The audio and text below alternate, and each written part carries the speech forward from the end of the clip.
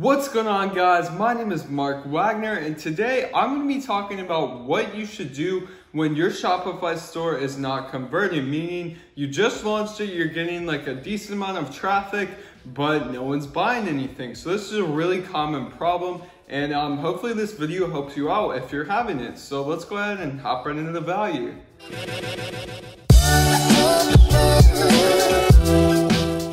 All right, so there's a ton of reasons that your Shopify store cannot be converting. And I'm basically just gonna walk you through like all of those and um, you know, you can see which one may apply to you.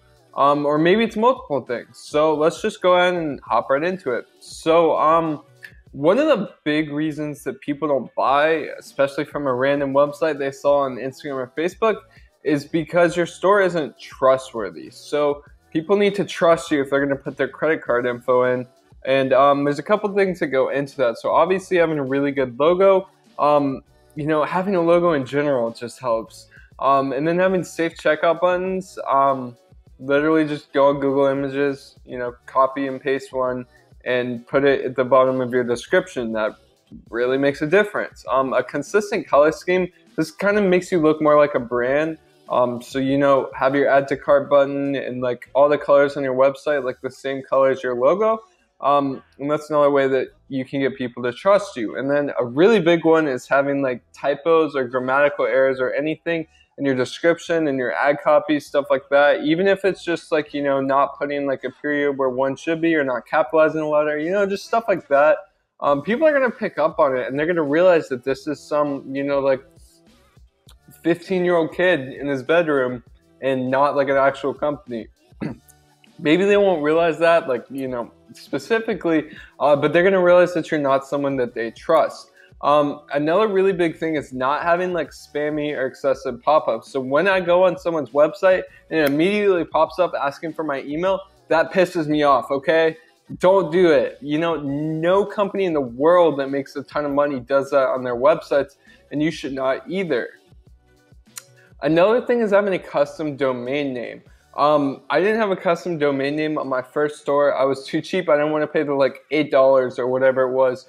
And um, for that reason, you know, I spent dozens, hundreds of dollars on the advertisements, and um, you know, no one ever bought from me really. So I don't know if it was because I didn't have a domain name or the product sucked or whatever. But anyway, get a domain name. It's not that expensive.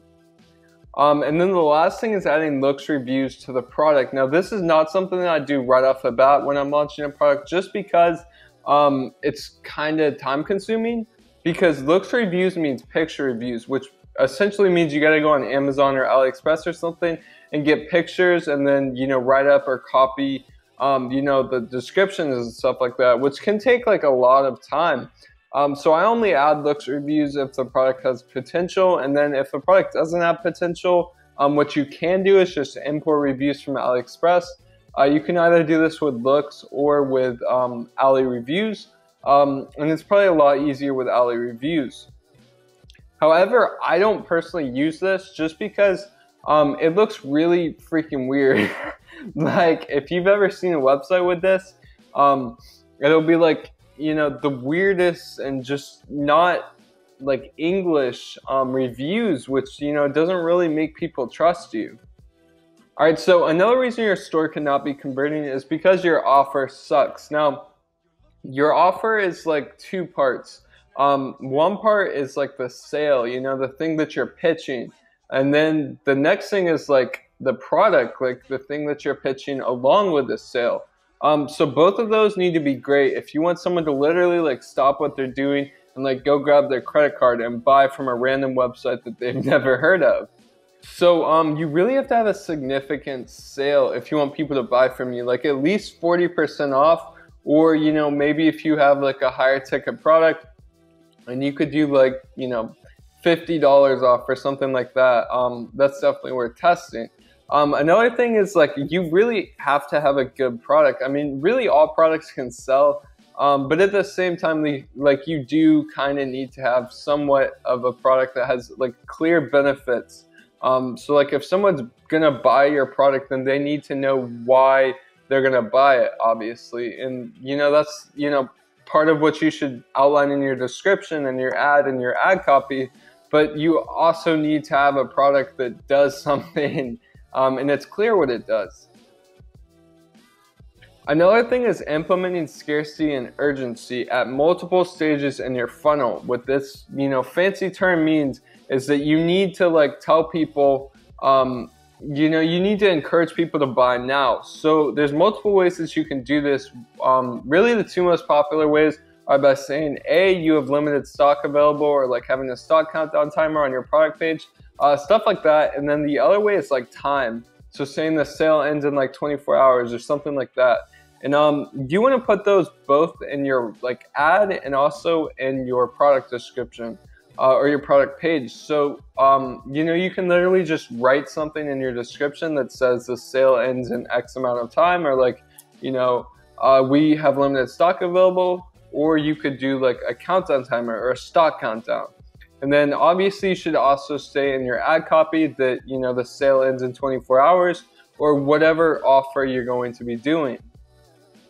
All right, so a third reason that your store is not converting is because your product page sucks. This is normally what it is, honestly. Um, but yeah, you really need to learn how to make a good product page because that's what people are looking at like the majority of the time. Like literally that's what's going to take someone from like someone interested in your product mildly to someone who buys your product. Um, so a really, really big, probably the biggest aspect of your product page is your pictures. Because people are so visual nowadays. Like someone's looking at your ad, they're looking at your ad, they're not reading your ad, okay? So photos are really, really, really, really big. Um, get professional photos, even if that means like taking them from Google Images. Don't take them from Google Images. And then you need to make sure that your pictures don't have like supplier logos. Um, so when you import um, pictures from AliExpress, uh, a lot of times they'll just have like the supplier in like the corner or something like that. That's a no no go.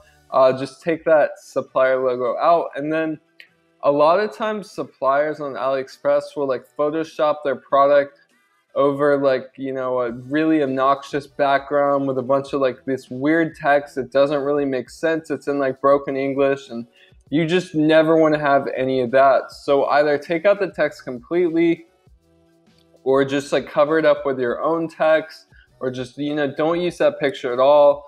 Um, but yeah you really want to make sure that your product photos are good because at the end of the day that's like really probably the biggest thing on your product page. All right, so the next second biggest thing, I guess, on your product page is your description. So this is really, really, really big. And um, a lot of the times I will see people literally just, you know, import a product from Oberlo and then import it to their Shopify store and then call it a day. And that is not okay um, you really have to customize your product descriptions and sell your customer on something instead of just like you know having these extremely weird like you know gender women you know brand fashion. Just like if you've ever seen the Oberlo descriptions you would know what i'm talking about but they freaking suck. Okay so just eliminate all those. Learn how to write good product descriptions. I have a video on it. I'll put it above my head somewhere i guess if i can figure out how to do that. And um yeah just write good product descriptions. But uh, don't write like super, super long product descriptions because literally no one wants to read that. They just want to buy your product. So, you know, tell them why they need to buy your product and just end it, okay? Don't overcomplicate it, don't overthink it, and don't write too much, but don't write too little. And then the last thing, and another thing that can like get really weird if you're importing from AliExpress is that your variants can, you know, get messed up. Um, so just make sure that you don't have something that says like a ships from and then it has China and stuff like that. Um, that's a no go. You can literally just go delete that variant. And then your variants can also get messed up. Um, like sometimes the supplier puts like really weird things. They'll put like color and then it'll actually be size and stuff like that. Um, you know what I'm talking about if your product is like that, but you know, just look at your variants and make sure that the variant label um, matches what the variant name is. All right, so another reason why your website isn't converting is because your website sucks. Big surprise, right? Um, but the funny thing is, it's usually not this. Um, it's usually like one of the things that we've talked about before, but um, you know, it doesn't hurt to have a really good website. So uh, having a really good, simple, clean theme is key. You don't want to overcomplicate it. Just simplify. Okay, simplifying is how you scale in the world. But anyway, um, I use Debut. There's a bunch of other really good themes out there. Honestly, like all the free ones convert. Um, but yeah, so Debut is just like if you haven't picked a theme yet, just go with Debut. It's super basic and it's really all that you need to start out with.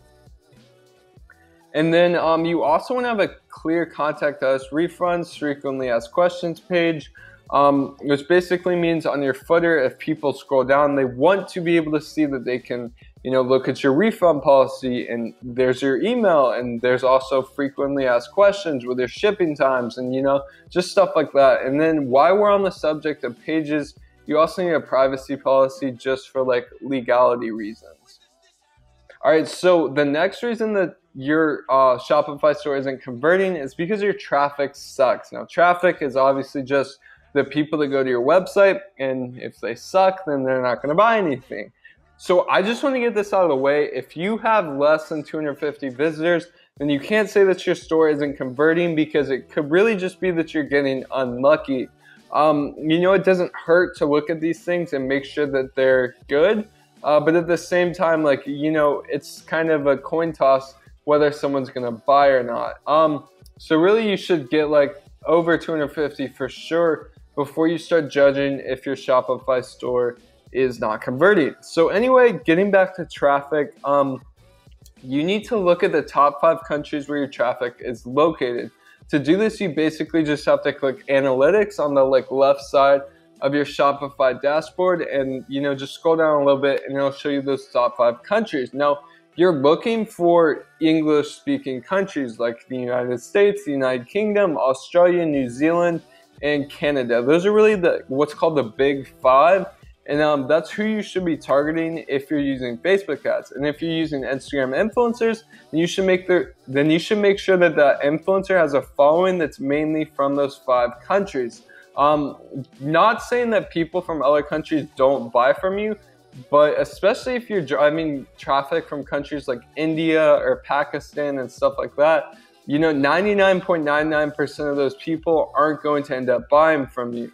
And then um, the last thing is thinking about your target market. Like for me, I tested a product earlier. It had a good product page. Um, you know, everything was good, okay? Because I know how to, you know, build my stuff, obviously. Um, but my target market, like the people that I have found on Facebook that were converting the most, it was people ages 13 to 18. Um, which isn't really ideal because even though they were converting the most, they weren't converting much at all. Um, and I think that that's really important to consider. Like, I killed that product because I realized like kids don't have much purchasing power. If a 13 year old wants something, then he's gonna go ask his mom for it. And this was like a $40 product too, you know, like kids don't have $40 to go blow on a stupid product from a website they've never heard of. Um, so it's really important to think about your target market. And then, you know, if you're in a similar situation to me, um, then maybe your product isn't right, or maybe you should find another audience that you could sell your product to. Maybe you have to market it in a different way, but um, you know, it's definitely worth it if it's going to increase your conversion rate. All right, so the last things that you should know about your store not converting is um, you know, like I said, there's a ton of reasons, and we just went over most of them, but it definitely does not hurt to get a second opinion on your Shopify store. So um, one way you can do this is just by asking for store reviews. Uh, there's like a hundred thousand Facebook groups out there for ecom. Uh, one of them is in the description of this video, actually. So just go ask for store reviews on Facebook groups, or you can ask like your friends and family to give their honest opinion. Uh, they're probably going to tell you it's great, but you know, tell them to be harsh with you because at the end of the day, that's what's going to help you. Um, another way that I always do before I launch a store every single time is putting myself in my customer's shoes, and I go through my entire like funnel. So I'll click on my ad, or like if I can't click on my ad, then I'll just go to that product page, and then I'll add it to my cart. You know, I'll, well, first I'll like, I'll be like, okay, so I'm a customer. So I look at the photos and then I look at the description and then I look at the reviews. And I'm like, okay, this is cool. So I add it to my cart and I put in a bunch of fake information and I just go through that checkout process, you know, like shipping and all that.